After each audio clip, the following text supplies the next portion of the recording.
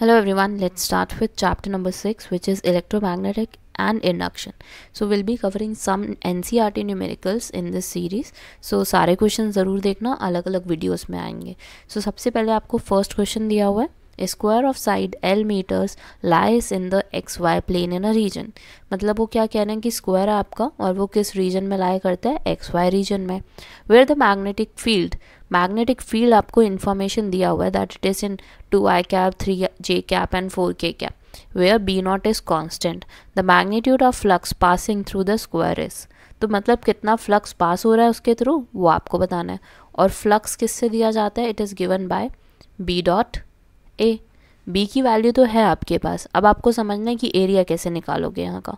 तो एरिया कैसे निकलेगा? सबसे पहले तो इन्फॉर्मेशन देखो क्या दी हुई है। आपको दिया हुआ है कि जो एरिया है it is in the X Y plane और जो हमारा एरिया होता है एरिया वेक्टर जो होता है it is perpendicular to the plane of any polygon कोई भी पॉलीगन होता ना यहाँ पे तो मैं क्या इसको लेट करती कि ये हमारा कौन से डायरेक्शन में है?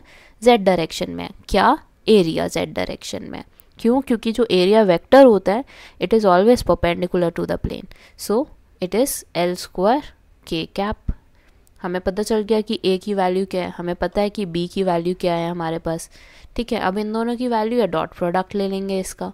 Five is equal to B B आपका क्या है? B not two I cap three J cap plus four K cap dot A A की वैल्यू कितनी है आपकी? एल स्क्वायर के कैप अब आपने करना क्या है यहाँ पे? के कैप को के कैप से मल्टीप्लाई करोगे। क्यों? क्योंकि अगर आप टू आई और एल स्क्वायर के कैप को करोगे तो क्या होता है वो?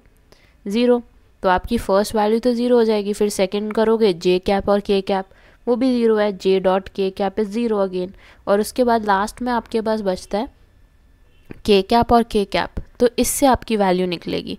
आपके पास क्या आएगा? एक तो आया सबसे पहले बी नॉट फिर उसके बाद आया आपका फोर फिर आया एल स्क्वायर ठीक है? और के कैप डॉट के कैप क्या हो जाता है? वन तो आपकी वैल्यू कितनी आ गई?